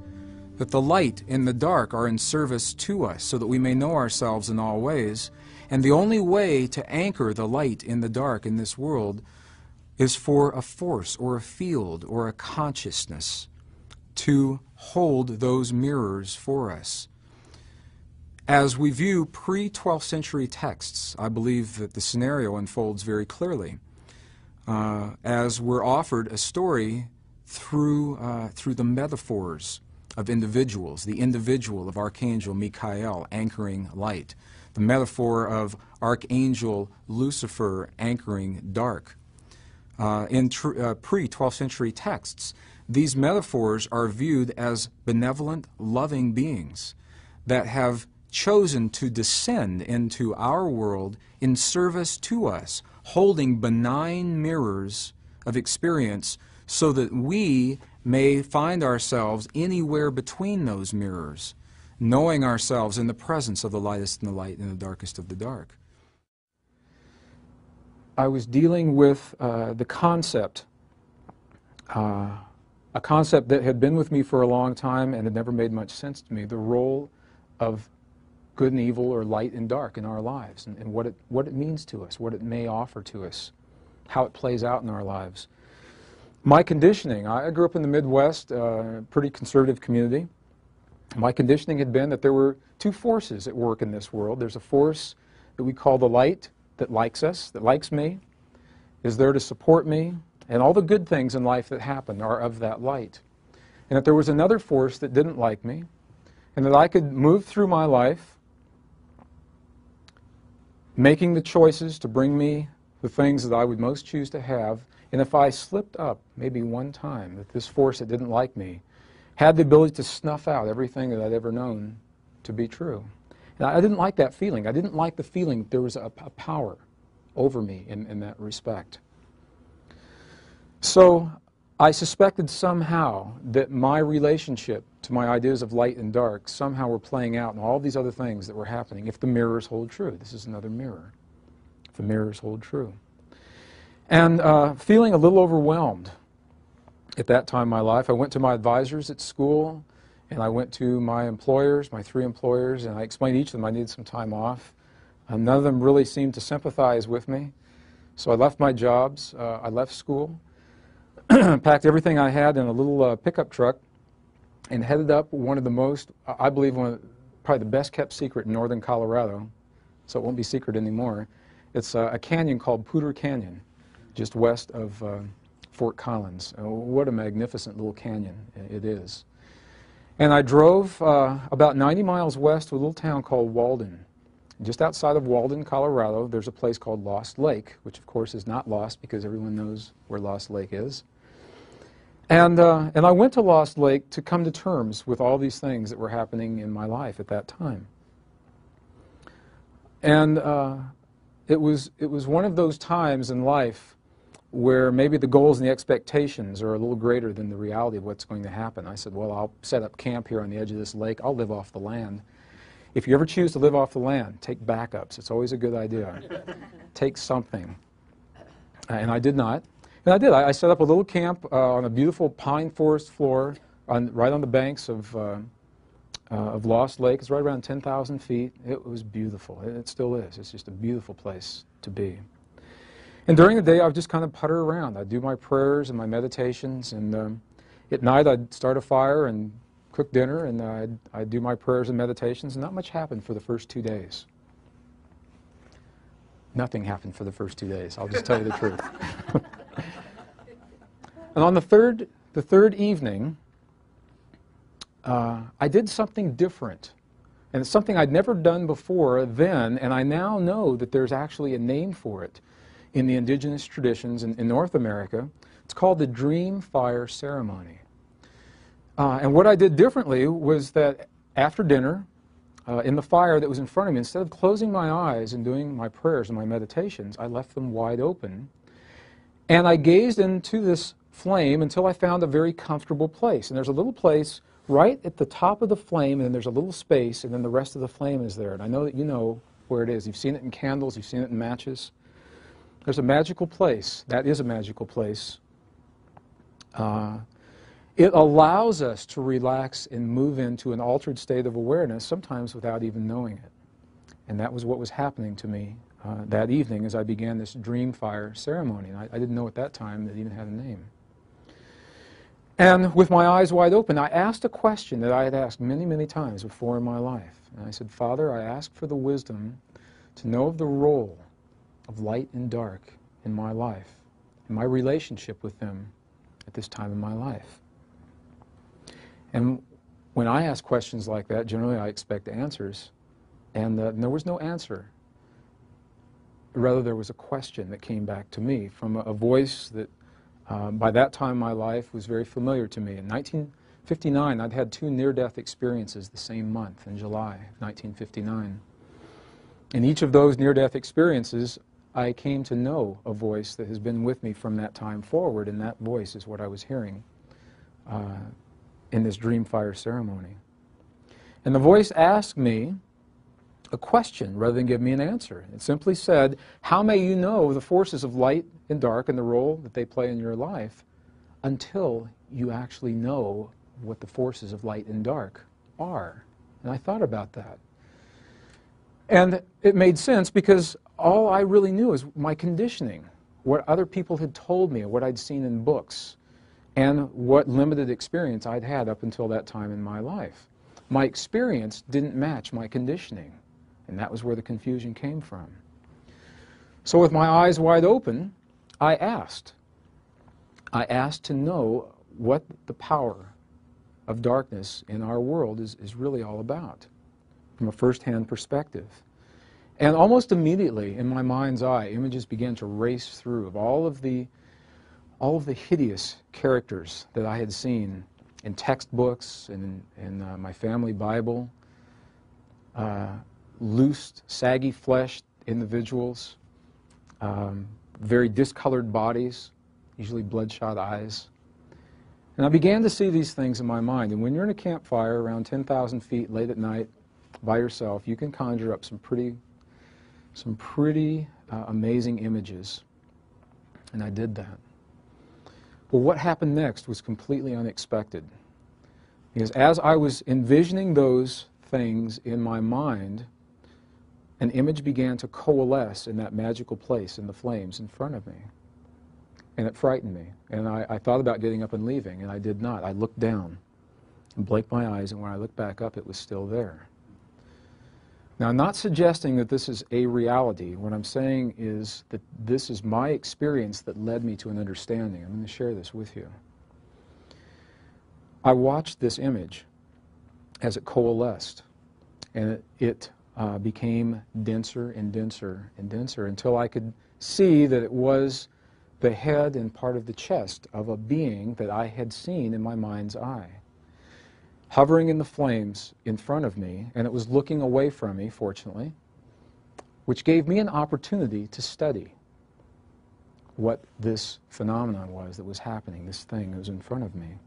And I did. And, and rather than feeling fear, my fear moved into fascination. And I simply began to look, and I was fascinated at at the folds and the creases in the saggy flesh and, and the scaliness uh, uh, at the same time that was shimmering in this fire. And while I was experiencing that fascination, the image began to rotate and the face began to turn toward me until it was facing me full on. And at that time, I had the opportunity to look eye to eye into the flames, into this thing that I had conjured up. To me, that was the epitome of all darkness or all evil as I'd been conditioned to believe it in my life. And I simply stared. I know now the entire experience lasted uh, about 22 minutes. And uh, when you're having an experience like that, it seems like an eternity. As I stared, something began to happen. The image of the epitome of evil, what to me was the epitome of evil in the flames, began to change and it got softer and softer and softer. And in just a few short moments, replacing the hideous image that had been there earlier was the face of a very young child. Neither male nor female, it was simply a child that was in the flames. And the child looked at me and as I looked at this child, I felt this tremendous sense of sadness well up from within me. And the child had huge tears coming down its cheeks, and I found myself with tears coming down my cheeks at the same time. With that experience, I began to re examine my conditioning, and that led me on a path through many ancient, obscure, and esoteric texts. And what I'll share with you now is what I believe is perhaps the greatest potential of our healing, of any illusion of separation between us and our world and our Creator, and the source of all that we will ever know as fear. And think about that. I asked you this morning to describe to me the negative characteristics of your primary caretakers, and we had many different words, many different perspectives that, under, uh, that, that had the underlying uh, aspect of fear. And I said, of all of these different expressions, they all pretty much resolve to one or some combination of those three universal fears. Now the Essenes offer us a path and take it one step further. They say, as you heal, not if, as you heal this memory, then you have healed those universal fears. So, in simply healing a single memory, fear is no longer possible in your life. In simply healing a single memory. Well, let's take a look at that memory. When we talk about light and dark in our world, we have, uh, historically, we have images that come to mind when we think of light and dark. If darkness and light are equal and different only in seeming, as we're told in the ancient texts. And they are benign forces in service to us rather than forces that either like or do not like us. That's a very different world that we're living in. Very different.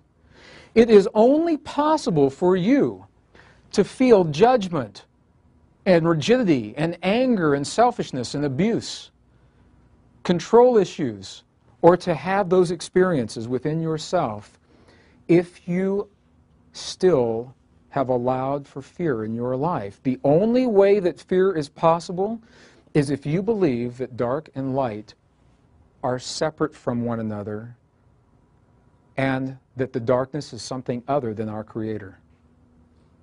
If you allow for the possibility that darkness is part of our Creator, just as light, however you view your Creator, makes no, no difference. If you allow for that possibility that there's a single source of all that we'll ever know in our world, and it has many different forms of expression, it is impossible to fear. Your body mirrors your belief in the relationship between light and dark. Your body mirrors your belief. Illness is only possible if you believe that those forces are separate. Death is only possible if you believe those forces are separate. And as you allow for the possibility of the marriage of those two forces in service to you, your body mirrors that biologically.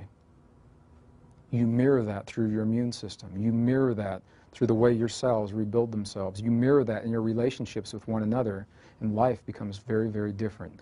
Because it is no longer possible to fear or to hate if all there is is love in our world. What I believe has happened is that here we are in this, this paradigm. We have had such a tremendous acceleration of technology out here we now witness the moment of conception live in a human womb. Not a still photograph, we witness it live. We have witnessed DNA passing between a sperm and an egg. We have peered into the depths of the quantum world of the atom, and we've sent these extensions of our perceptions deep into interstellar space beyond the boundaries of our solar system on the one hand.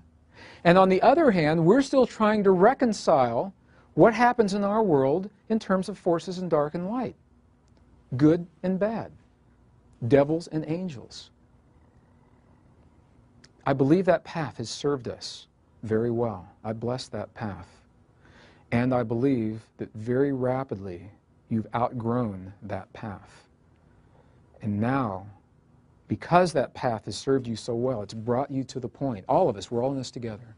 It's brought us to this point where we may redefine now what the events of our life mean. When we witness, you turn on the 6 o'clock news and you see something that has hurt you, what do you do with that? How do you reconcile that? You say, if all that's here is love, and I'm witnessing 10,000 Rwandans massacred laying dead on the side of the road by their own people, how do I reconcile that? What does that mean? Or typically what you'll hear is, how can God let that happen? Well, if we allow for the possibility that there's a single source of all that is in this world, then you have just opened the door and paved the path.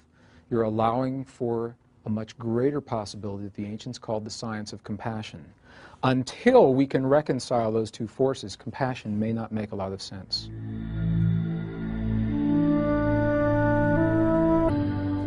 Seventh mystery of relationship, the seventh Essene mirror, from the perspective of the ancients, was the most subtle and for some the most difficult.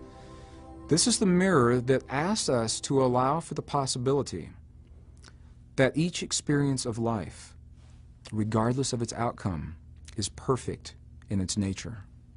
Regardless of whether or not we achieve the lofty goals that have been set by others, we're asked, we're invited to view our accomplishments in life without comparing them to anything else, without any external reference. The only way that we may view ourselves in failure or success is when we measure our accomplishments to an external yardstick. And the question then arises what is it that we hold ourselves accountable to? what is it that we use as our yardstick of accomplishment? From the perspective of this mirror, we're asked to allow for the possibility that all aspects of our lives, each aspect of our personal life, whether it's our body shape or our body weight, or our academic or business or athletic achievements, are perfect as they stand. And we will see that they are, in fact, that way, and can only be judged when they are compared to an external reference. We're invited to allow for ourselves to be that reference. The last mirror the ancients considered the most subtle mirror. And to share with you this mirror, I'm going to share it in, a couple different ways, a couple different stories. One of my last years in the corporate environment, I shared an office with a woman uh, because our office space was limited. So we had very different functions and simply shared space together. And because there was no competition, we became very good friends. We just simply spoke with one another, went to lunch together a lot. One day we came back from lunch and she picked up her voicemail and as she was listening to her messages I saw her face turn sheet white and she sat down and I said, what happened?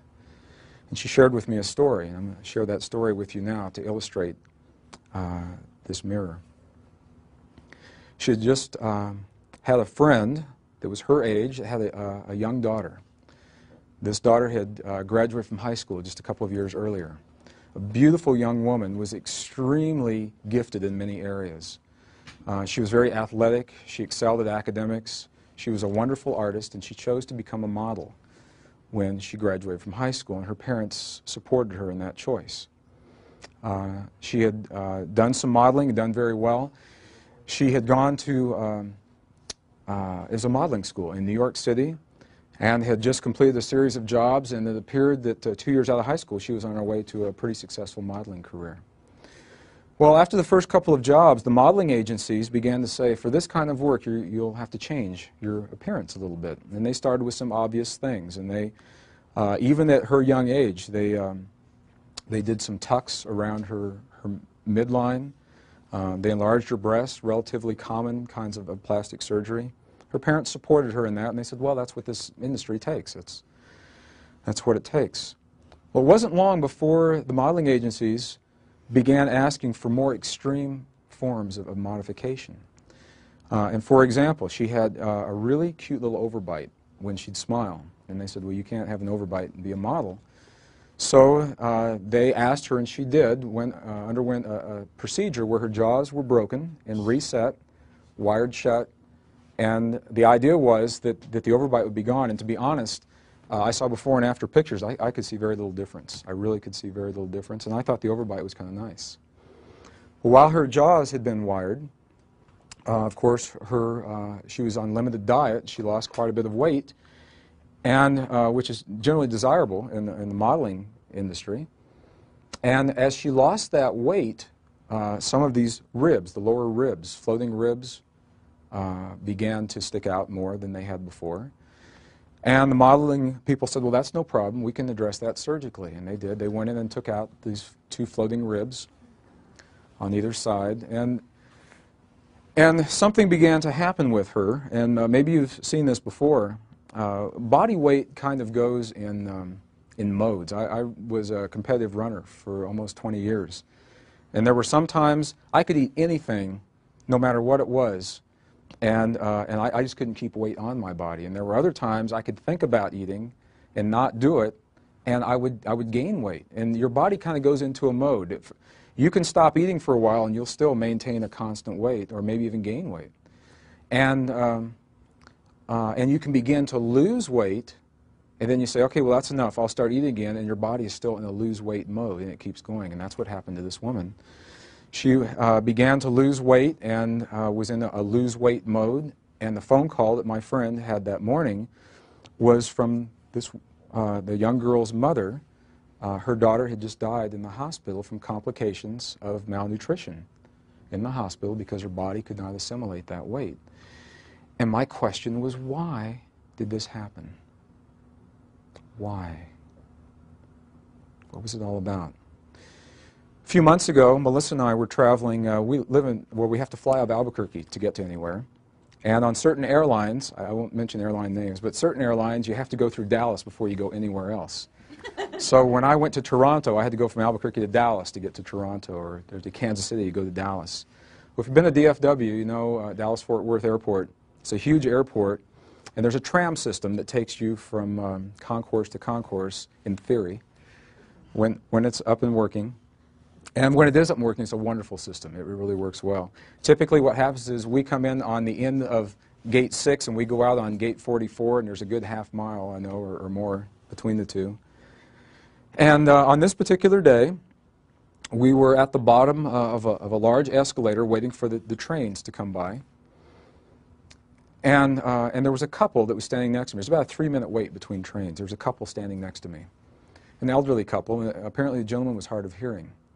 And this couple had an ongoing dialogue, a constant dialogue where they were, between themselves, where they were evaluating everyone around them.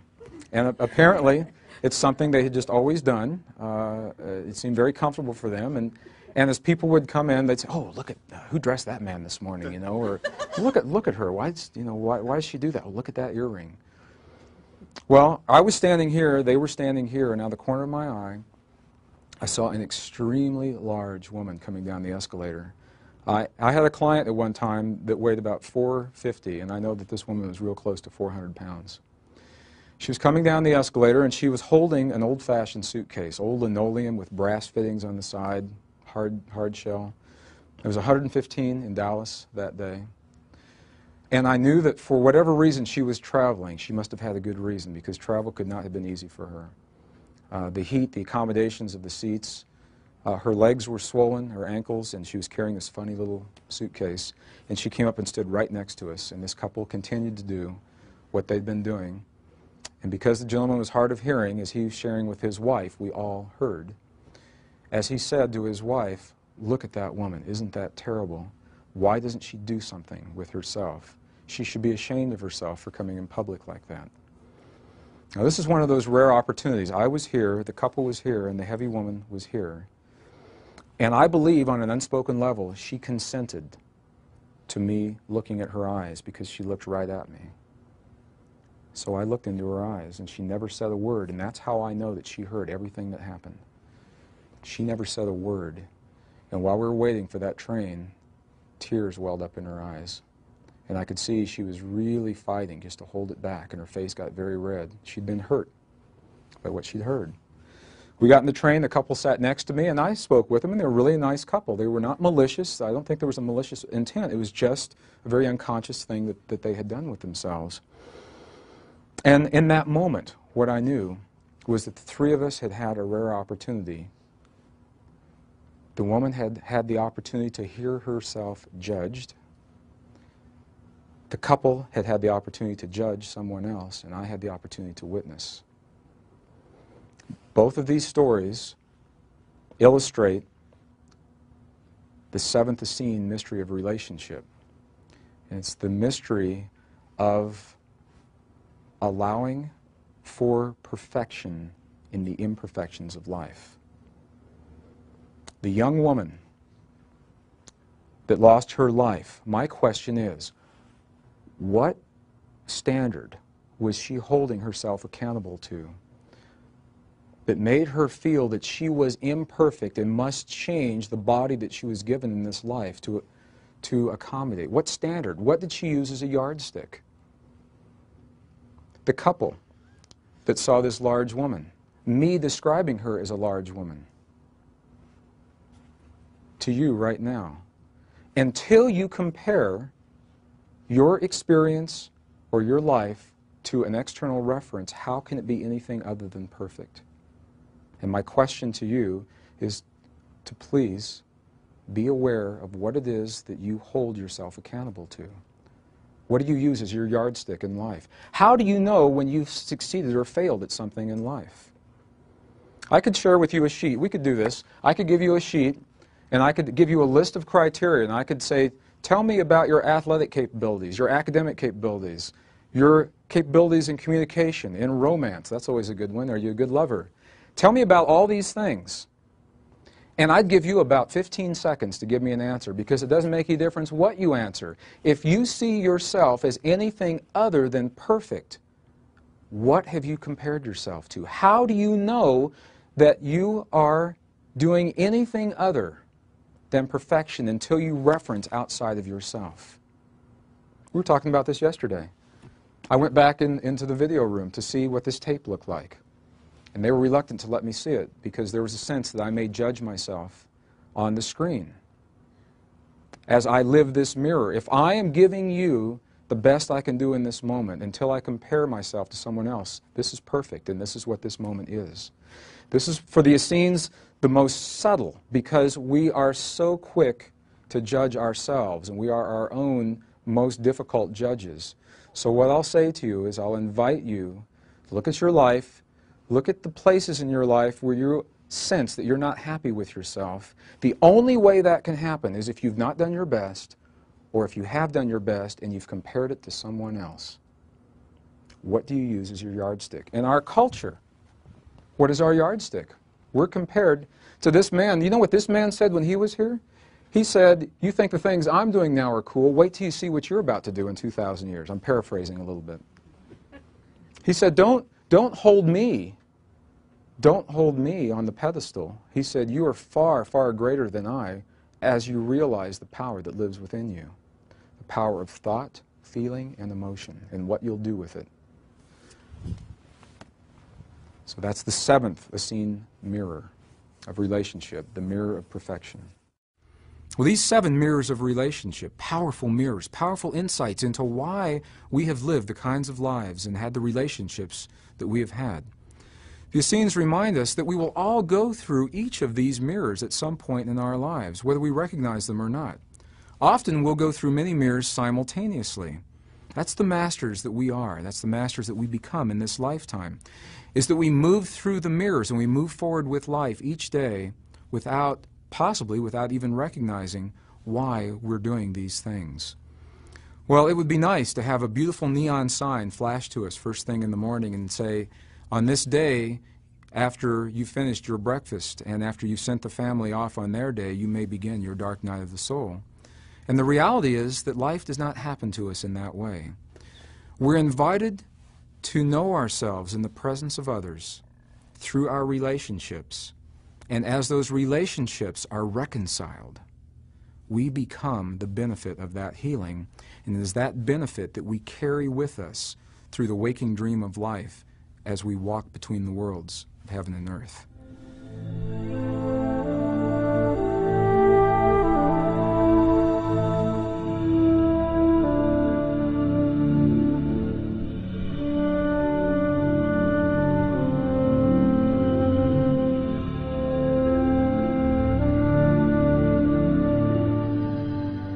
And this story is a story directly about Jesus of Nazareth and healing and the story tells uh, of a, a particular woman that he worked with one day and how he chose to respond to her requests. As we read these texts, it's interesting. Um, what I've discovered is that uh, not every single person that sought the help of Jesus was healed. he would ask them two questions. Depending on how they answered those questions, they may or may not have the benefit of the healing. The first one he would ask, he'd say, Do you believe in me? Do you believe in my Father? At that point in his life, he made no distinction between himself and his Father in heaven. Think about that. No distinction. In our language, our language based in separation, as the translations were made, what, what's the most powerful prayer that we've been offered in the West, we believe? What, when you ask someone about a prayer, typically what prayer did they Okay? And listen to how that was answered. We call it the Lord's Prayer. Whose Lord? The Essene traditions call it our Lord's Prayer. What is the first sentence of that prayer? Complete sentence. Who art in heaven. That's the Western translation. Our Father who art in heaven. There's the separation. Our Father's in heaven and we're down here somewhere. That's not the way the original Aramaic traditions read. They say, Our Father who is everywhere. Our Father who is everywhere. So our language plays such a potent role, and that's why I'll invite you to explore many paths as we're looking at the language. Well, it was through this language that I read of, um, of this story. He would ask him, Do you believe in me? Do you believe in my Father? Because at that point in his life, he saw only the union of the two. And the person would say yes or no. Then he would ask him a question. He'd say, What have you learned in your illness? What have you learned in your illness? Typically, the, there were illnesses that people were asking to be healed of. And this particular story uh, fascinates me because it was a woman that was born with leprosy. We don't see a lot of leprosy today, and, and there was a lot uh, in this country anyway, we don't see a lot. This woman had been born with leprosy, and she was angry at her disease. She said, What do you mean? What have I learned? I've learned nothing. This is a mistake. I'm not supposed to have this. She says, I am so hideous, I've never had a friend. I've never known a man. I'm so hideous, even the animals cower in my presence. Heal me of this affliction. And he said to her, If you have learned nothing from your condition, then die and know yourself through death. Because he loved her that much. And that is the beginning of compassion. He had no attachment to the outcome.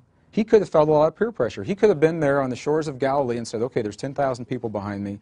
There's a woman in front of me. They're asking me to do something. I got to do something quick. I mean, he could have had a thought process like that, and he didn't. He loved her. She had, from this perspective, through her mastery, allowed or created that condition in her life so that she may know herself in that way. If it had not served her, why would he take that away from her? Thought without attachment to the outcome. Uh, a few years ago, we had the opportunity on the 6 o'clock news, many of our homes, to witness a, a tragedy that has happened uh, far too many times. Once is too many. Uh, this particular tragedy was in a, a, small country of Rwanda, where uh, approximately 10,000, we still don't even know the exact number, 10,000 civilians were depicted uh, on the news, massacred by their own people on the rural roadsides in that country. And I was with a group of friends that evening, and we watched this, and it was just the right group of friends for that evening because I had the opportunity to look around. There were four of us and I had the opportunity to look at the other three and see what had happened with them. So as the reports went on, there was a woman that was in the living room, and I asked her, I said, how do you feel about this?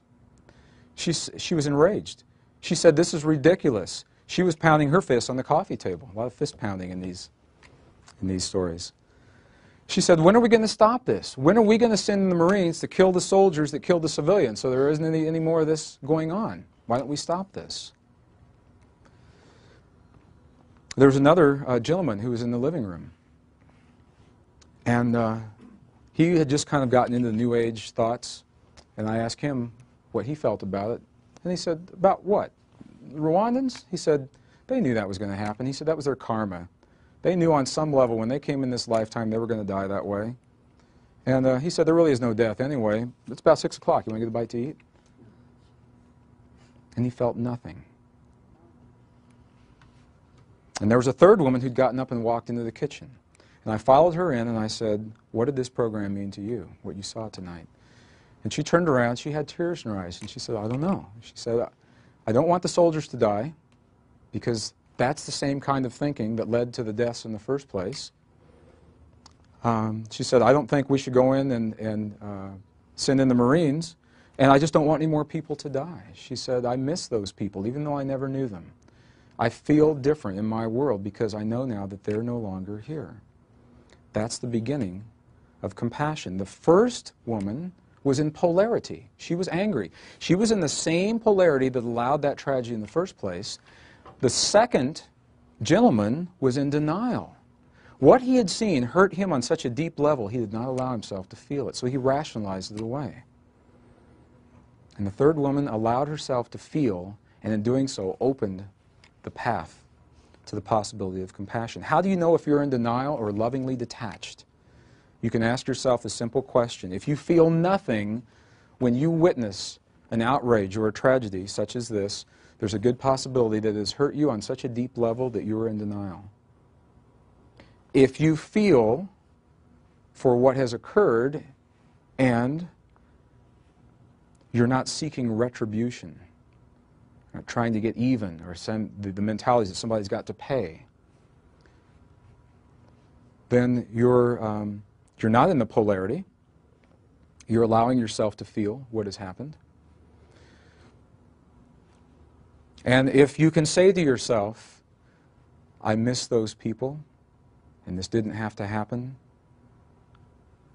and there's a sense that somehow there's a balance that's occurred here, you may be at the path, at the doorway to what we call compassion in our lives.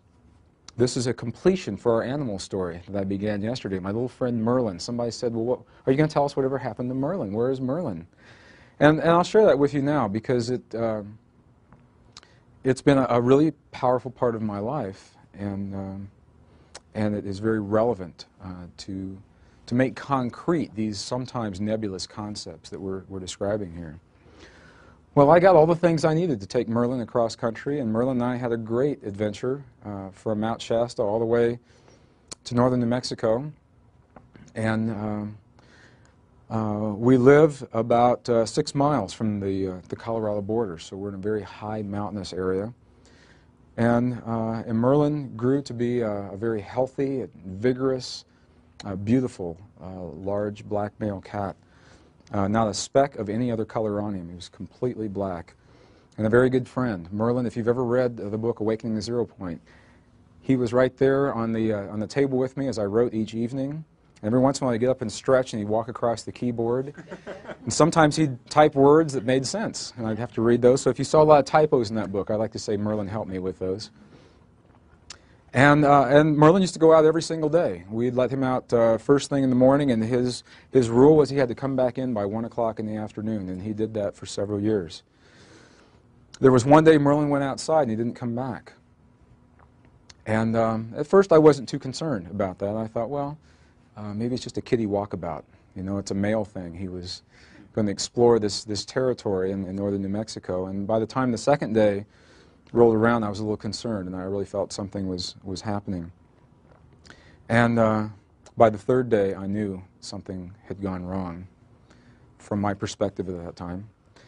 And, uh, and I stopped everything I was doing. I returned no phone calls, no correspondence. I did no business. And for, uh, for five solid days, uh, I invited friends in our valley and we looked for, for Mr. Merlin everywhere. We looked in coyote dens, we looked in owl nests, we looked in badgers' burrows where we could find them. We went uh, and looked around eagles' nests uh, down in the, in the valley. We, there's 136,000 acres of sage that borders our property, owned by a Bureau of Land Management. It's fenced off, and we'd walk from one end to the other and tie off a piece of ribbon, take three steps over and walk back so we could scour every every foot of the fields. And after a few days, um, I, I, really had this, uh, this feeling inside that something was terribly wrong. And i I felt like he was alive and maybe he'd fallen into a well and needed some help, or he was in an old uh, abandoned building, or he was in a hunter's trap, or something had happened. And, uh, and one morning, as I was laying in bed, uh, the sun had not come up yet, and it was light. It was about to come up. And I asked for a sign. And I simply said, uh, Father, I asked for the sign. Is my friend Merlin alive? Does he need me? Or, or, what's happened? And I didn't even get the sentence out of my mind. I hadn't even finished that sentence yet. And something happened that had never happened before. It's never happened since. Uh, from 360 degrees all around our property, I heard more coyotes yip and yell and scream and cry. Broad daylight and then as soon as they, uh, just as suddenly as they began, they stopped. And I, I, knew in that moment that Merlin was no longer with me. And, uh, and that he'd been taken by a coyote. Well, I got up that morning, drove a truck down the road, and something very odd began to happen. There were coyotes everywhere in broad daylight. There were young ones and old ones, and they were walking in twos and threes. They walked in the road right in front of my truck. They were all over my property. Normally, you'd only see them uh, maybe very early in the morning or at dusk. You, you typically do not see them in broad daylight. And I had an opportunity in that moment. Uh, and if it had happened another point in my life, I, I may have been very angry at every coyote. I, I may have chosen to uh, stand on top of one of my buildings and snipe each one and said, maybe you're the one that took my friend Merlin. And I didn't feel that way. I, I, I didn't want the coyotes to lose their lives. I missed my friend Merlin and his presence. I missed his life. And in that choice of not being angry at those coyotes while still allowing for the emotion of losing my friend, for me, that was uh, a powerful opportunity and an opening into compassion. Thought without attachment to the outcome, feeling without distortion, emotion without charge. It hurt me deeply. He was a very, very close friend. And I, I share animal stories, and maybe to some people they're kind of silly, and uh, if you have ever been alone in your life, or um, I've never had any children. Uh, animals have essentially been children, and they've been powerful teachers to me, really powerful teachers.